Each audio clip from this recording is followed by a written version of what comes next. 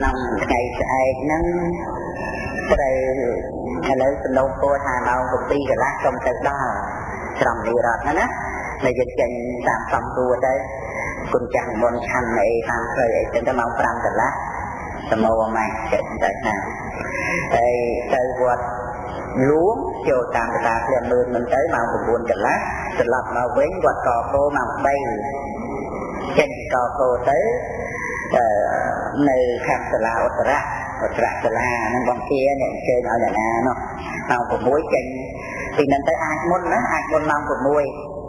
មកមកពីកកោដល់ស្មានណាក៏ស្មានហ្នឹងទៅតែកំណត់ប្រាប់ទៅម៉ោង6តែយើងអាចទៅដល់មុនដើម្បីចេញពីកន្លែងហ្នឹងមកទៅនៅក្រោយ SN 91ចាស់នោះណាម៉ោង 7កន្លះយប់ប៉ុន្តែអាចទៅដល់ម៉ោង7នេះស្អែកណាជ្រុលដល់ប៉ុណ្ណឹងណាប៉ុណ្ណឹងថ្ងៃ3រោចនៅហើយថ្ងៃ4រោចព្រឹករំហន្តីឧបណាហន្តីតែមួយទេព្រឹកហ្នឹងហើយត្រឡប់មកវិញនៅសាណាណាណានៅសាបាសកាចេនេះញ៉ាំម៉ោង2ហើយចេញមកបានកុំយូរ ម៉ោង4ចេញពីកុំយូរម៉ោង4មកទៅខាងត្បូងវត្តដងវិលត្រៃខាងអូណាម៉ោង6ចេញពីម៉ោង6មកអត្រង់ទៀតដងឡានទៀតណាដងឡានអឺកាត់ត្រៃសូត្រមុនម្លែងពោះហើយដង្ហែទៅឡានទៅគ្រៀនណាគុណចាស់អង្គតាណាណា ពីឡានបងបងឡានបងឡានបងឡានពីឡានណែពីឡានពីឡានអត់ដបូលម្ដងលឿងរហូតណែពីរហូតហ្នឹងណាមិនសប្បាយណាសប្បាយដូចចិត្តយើងជ្រះថ្លាទៅសកម្មពេញបណ្ឌិតតាតាមពិតយើងត្រឡប់ទៅជាការបរិច្ចាគនៅអាក្តីសុខស្រួលប៉ុណ្ណឹងវាទៅជាការបំពេញបារមីទៅវិញហ្នឹង បើយើងមិនមានបញ្ញាយើងអត់ដឹងថាជាបុណ្យអីយ៉ាងណាទេយើងនឹកឃើញដល់រឿងសុខស្រួលតែដល់ទៅយើងព្រមលះបង់នៅអាការសុខស្រួលហ្នឹងឡើយគឺជាសេចក្តីសុខដែលកើតឡើងចឹងណាសុខស្រួលហ្នឹងដេកដើរចូលអង្គុយនឹងស្លៀកនឹងពាក់នឹងស្អីស្អីទាំងអស់ហ្នឹងយើងបរិច្ចាគដោយបញ្ញាបារមីជាដើមនៃកម្មបារមីវិញទីចឹងបរិច្ចាគនៅក្តីសុខក្នុងកាមគុណអីទាំងអស់ហ្នឹង ហើយប៉ុន្តែខ្ញុំកណាអត់បានទទួលទៅតែក្រៀនកើតទេគឺព្រោះព្រលឹមឡើងថ្ងៃ5ហ្នឹងទៅណោស្រំនៅក្នុងអរិយកម្មតស្រុកបណេព្រះណាម៉ោង9រួចបានត្រឡប់មកវិញវត្តស្លៀកម៉ោង1ចេញមកវិញចូលទៅមកគោលណាចិត្តវត្តធានកេះហ្នឹងបងនេះទៅអ្នកជើញណាបាទ ហើយបានត្រឡប់មកសាទៅផ្លូវលេខ1ម៉ោង6ហើយក៏មកទីនខ្ញុំក៏ដាក់ទៀនជូនគាត់គាត់សុំគាត់មុនមួយដែរនៅសាលាណាមិនដឹងជាយ៉ាងម៉េចហើយខ្ញុំដាក់ម៉ោង7កន្លះជូនគាត់នៅសាលាហ្នឹងដាក់ចិត្តបានជួបហ្នឹងមកទីនយើងនេះណាអឺឬក៏គាត់ធ្វើជាមួយនឹងបាសិកាគុណពីកោនោះរួចហើយដឹងណាហើយដល់ទៅថ្ងៃ6ត្រោត វត្តកូនត្រីទៀតឆ្ងាយតិចណាហួសវត្តរតននិមិត្តវត្តមួយកាលបំណាមួយយើងទៅពិសាបាយតាមដើមស្វាយពីណាខាងកោបនិមិត្តណានឹងវត្តហ្នឹងឈ្មោះវត្តរតននិមិត្តប៉ុន្តែហ្នឹងហួសហ្នឹងបន្តិចណាណាស្ដាំ6គីឡូណាហួសវត្តហ្នឹងទៅហ្នឹងមកអឺព្រឹកម៉ោង9ណែ សមាជិកាយើងនេះបាសិកាតយបែបយើងនេះណាបាសិកាដែលមករៀននេះនៅគូពេដែរណាហ្នឹងគាត់ចាស់គាត់ហើយត្រឡប់មកវិញបានវត្តនរាម៉ោង4ចេញពីនរាទៅវត្តទូល7ម៉ោង6ណាហ្នឹងថ្ងៃ6ហើយបាន7ហ្នឹងអោបមកហើយងាកហ្នឹងមកសាលាទៀតថ្ងៃថ្ងៃ6ហ្នឹងមកពីវត្តទួ7វិញមកសាលាពុទ្ធាពិសេសអីទៅក្រឹកក្រែងនៅ សាលារៀនចិត្តខាងយើងនេះហើយចម្លែងគួរទៀតគ្រូបងត្រូវទទួលអ៊ំថ្ងៃហ្នឹងថ្ងៃ6ហ្នឹងទទួលអ៊ំចម្លែងគួរនៅសាលារៀនឬក៏យ៉ាងម៉េចមកថ្ងៃគួរសាលារៀនណាហើយបានត្រឡប់មកវិញបានពុទ្ធិពិសេសណាហ្នឹងហើយព្រោះត្រូវទុកពូបងព្រោះភ្ញៀវទៅពីថ្ងៃភ្ញៀវគាត់ទៅបានស្លាប់ពួរពីថ្ងៃអញ្ចឹងត្រឡប់ពីនរេមកវិញនរេហើយជើញមកចុះ ណាណាមិនណាសមមហើយនរេហើយមក5 5កន្លះអីចេញបានណាតែខ្ញុំទៅទូ7សិនចាំត្រឡប់មក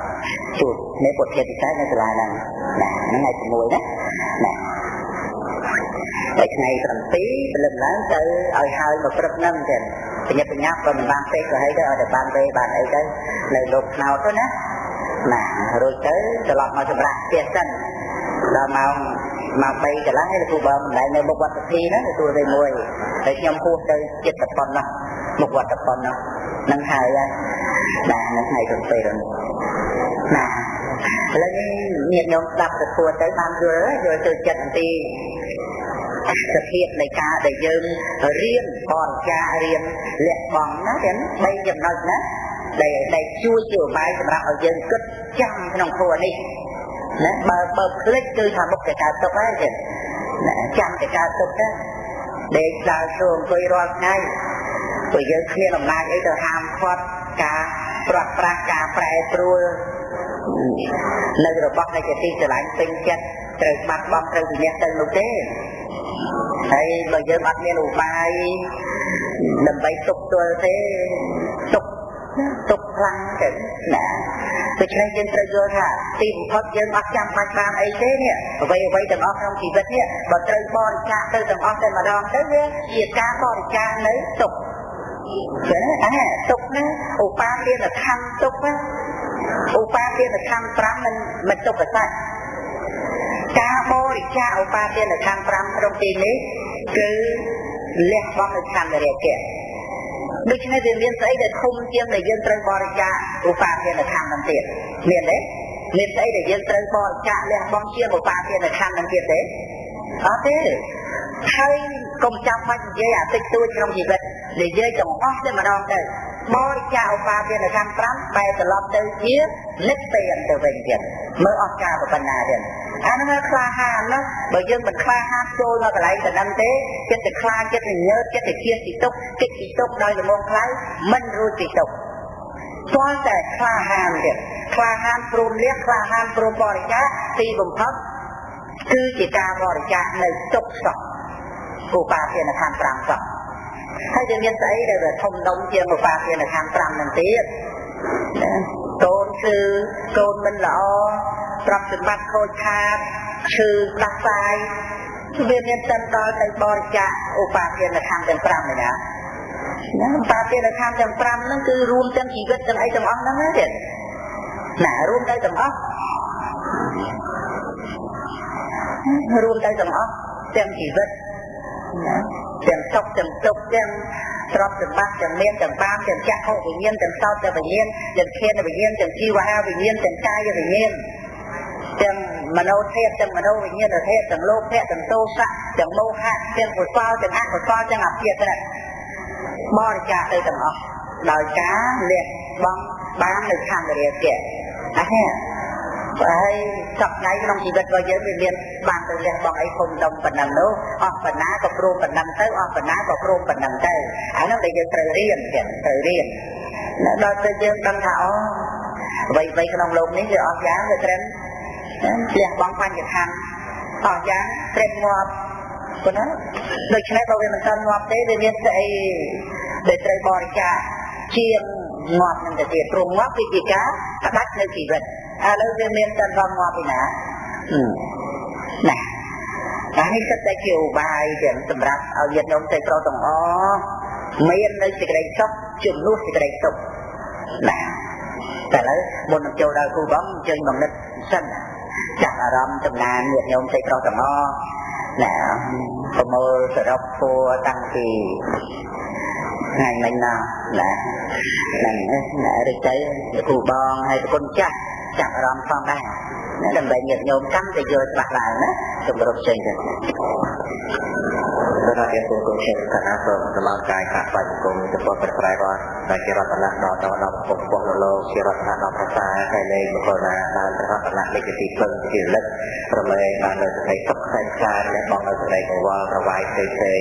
ដល់សេចក្តីគោរពដល់សេចក្តីចាស់ឡាទៅថាបញ្ញគុំនេះក៏លោកចាស់តាគណៈកម្មការទីគ្រប់ក្រាស់ក៏ប្រថាប់ដល់ទីនេះដោយសេចក្តីគោរពទៅថាបញ្ញគុំពលគ្រូជាម្ចាស់ដោយសេចក្តីគោរពនិងដោយសេចក្តីកោតក្រែងប្រាក់សម្បត្តិគ្រប់ពីពលតាលោកយាយយើងបងប្អូនសពបាត់អ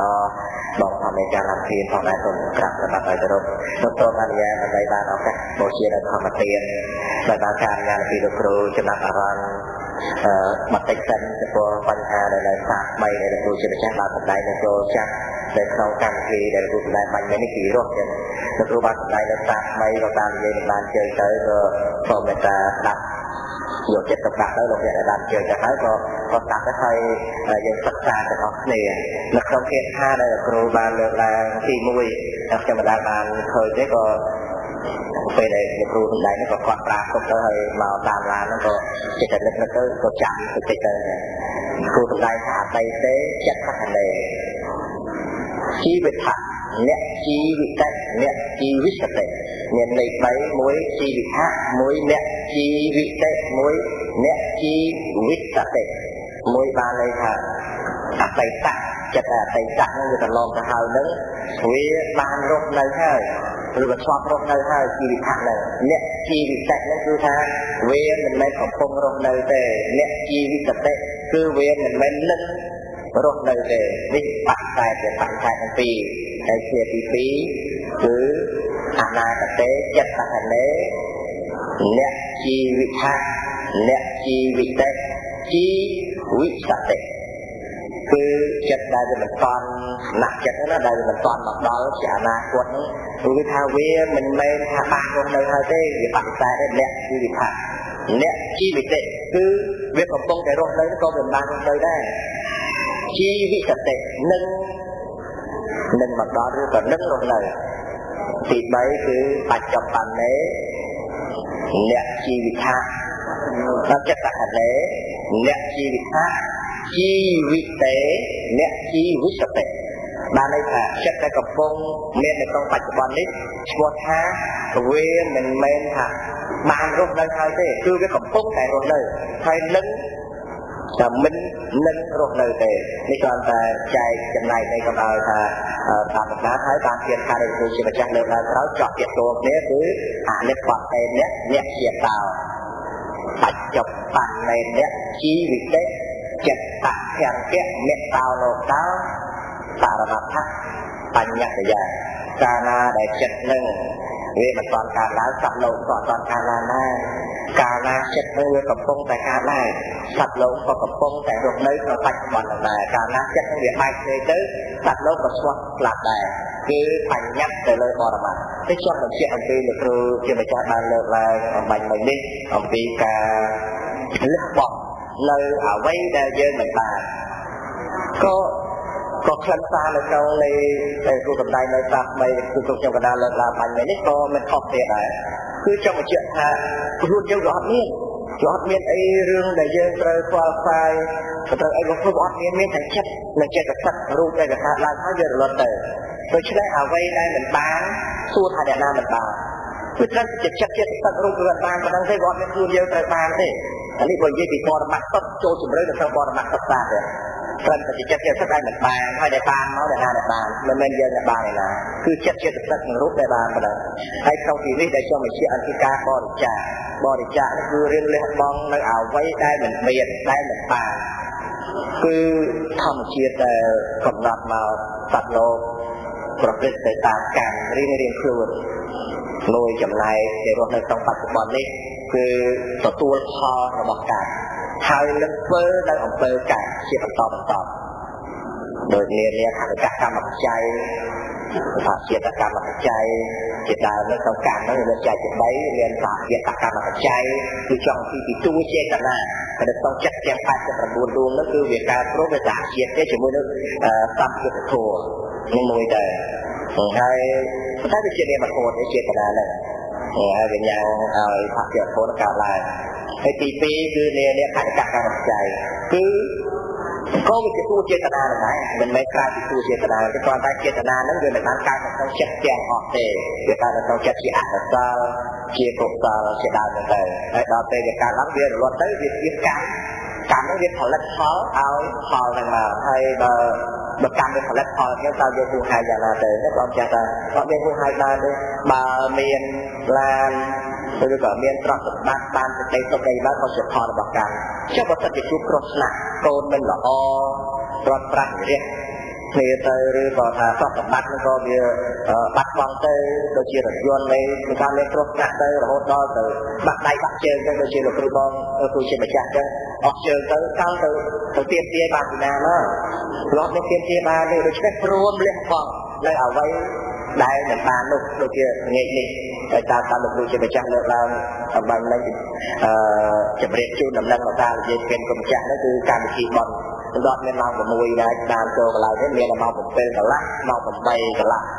9ណាដូច្នេះសบายចិត្តសบายចិត្តនៅបាននឹងបានបូជាចំពោះព្រះធម៌ព្រោះជីវិតនេះ មួយជាតិនេះបើខ្ញុំពិចារណារឿយរឿយទៅឃើញរូបនេះវាអត់ធ្វើអត់មានខ្លឹមសារអីទៅកើតមកហើយប្រែតែធំផត់ទៅដោយសារដៃនឹងទឹកតែចំណៃចំណុកនឹងបានធំផត់ហើយក៏បានផ្លាប់ទៅវិញចោលដេកនៅលើចំនួននៃផែនដីអានឹងនិយាយពីរូបកាយមួយជាតិមួយជាតិប៉ុន្តែតែអ្វីដែលត្រូវសន្សំបានគឺចិត្តសន្សំបានរបស់វាជាតិតាមធាននេះតាមធាននេះបច្ចុប្បន្នណាចិត្តនេះវាមានអាការៈប្រកបនោះគឺចិត្តអំណរនៃចិត្តហើយវាជាអានន្តរបច្ច័យគឺវាសំអានន្តរអានន្តអារាអានន្តរបញ្ចបច្ច័យវាសំទៅដើរដើរដើរចប់រហូតទៅទេមានតែចិត្តទេគឺវាសំទៅដូច្នេះចិត្តសំទៅក៏មិនមែនជាយើងប៉ុន្តែតែអ្វីដែលយើងត្រូវបំពេញនោះគឺអប់រំចិត្តគឺធ្វើឲ្យចិត្តនឹងមាននៅវាថា មាននៅកម្លាំងមួយនៅក្នុងការបំពេញនៅបនកសាលដូចជាលោកគ្រូចិត្តចាស់លើកឡើងអំពីមនុស្សនៅជាពូទ្វីបចឹងនៅថា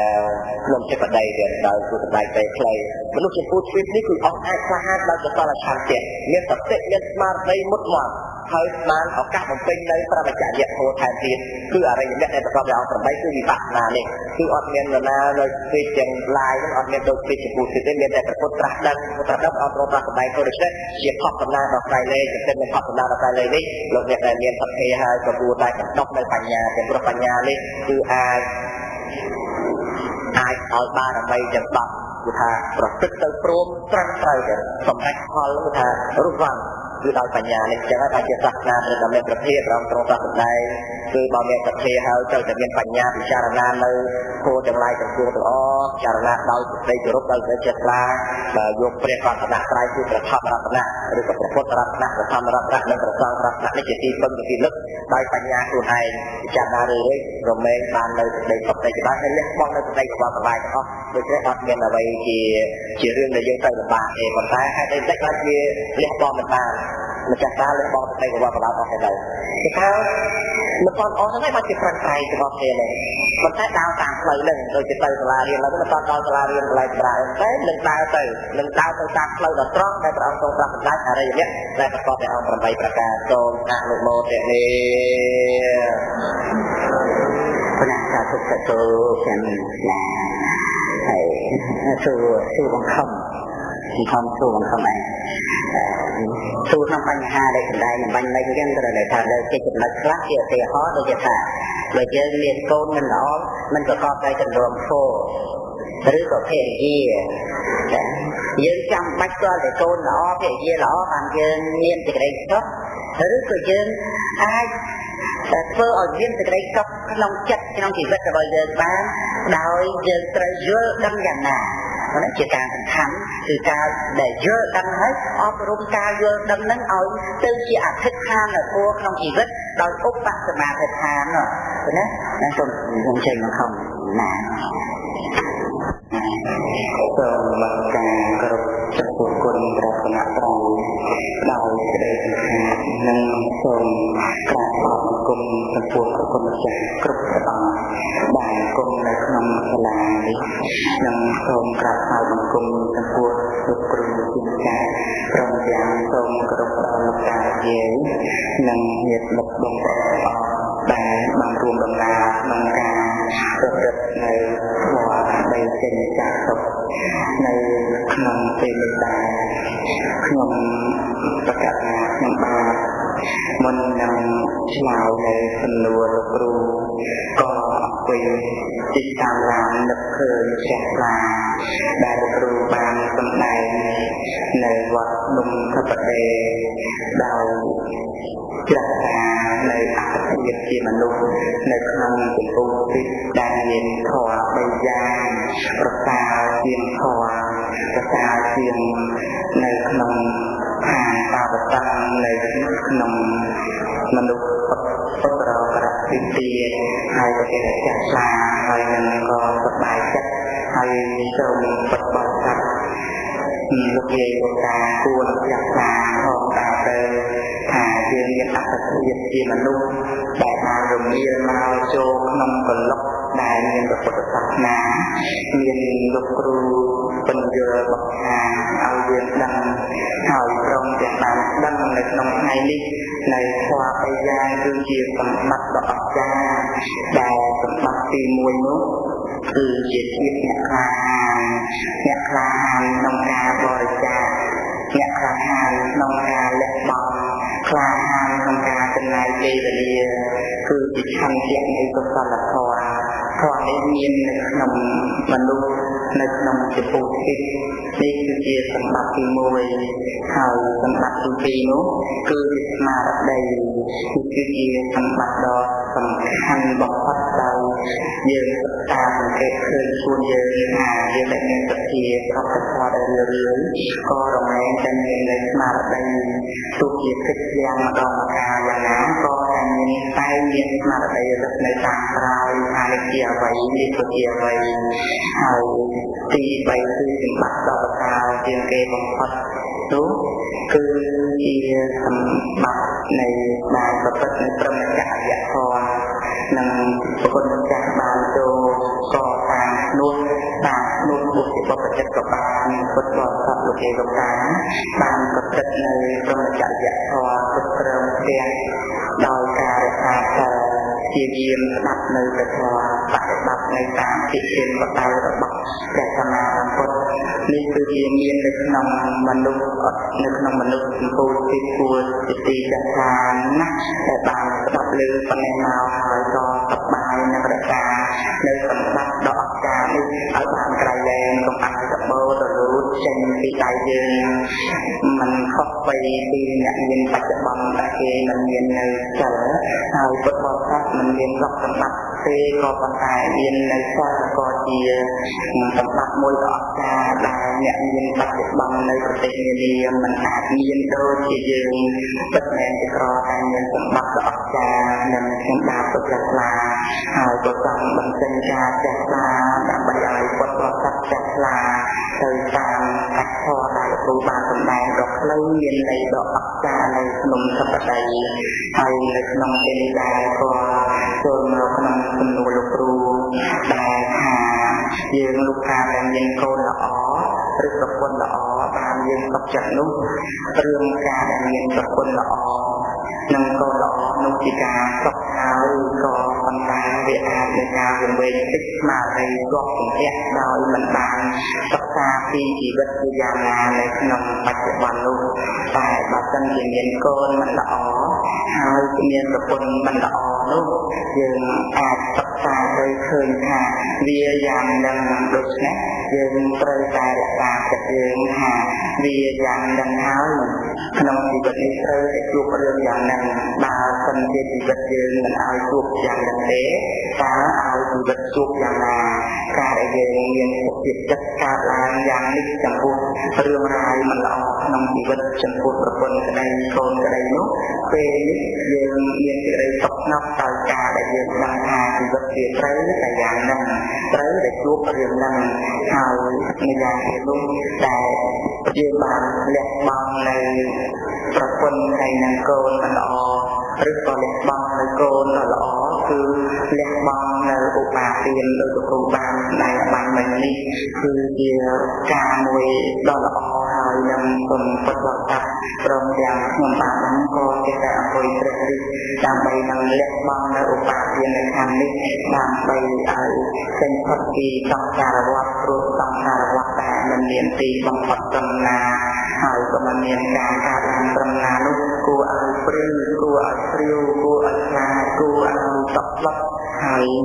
វាគួរឲ្យសង្វេគទីបំផុតមកទៅទៀតដូច្នេះក្នុងការចូលរួមស្នើនៅសំណួរលោកគ្រូនិង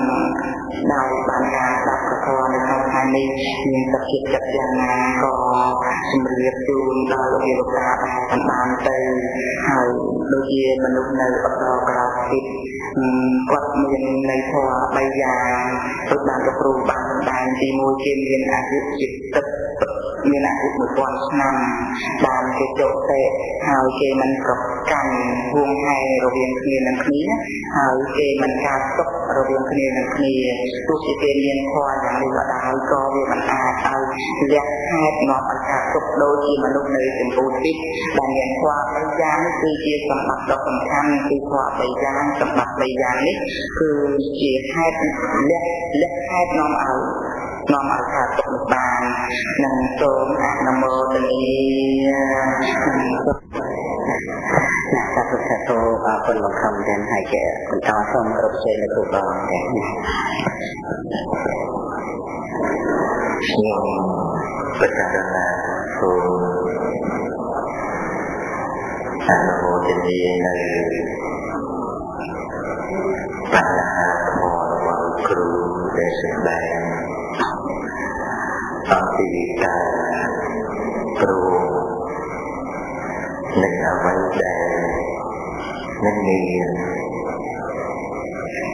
ហើយក៏ជាសេចក្តីមួយដែលយើងត្រូវធ្វើទុកនៅក្នុងចិត្តចំពោះគ្រូយើងដែរខ្ញុំប្រកាសថាខ្ញុំបានរកនីដូចជានៅក្នុងរឿង ដំណើរឆាប់តដែលទំនាក់ទាក់ទិនជាមួយនឹង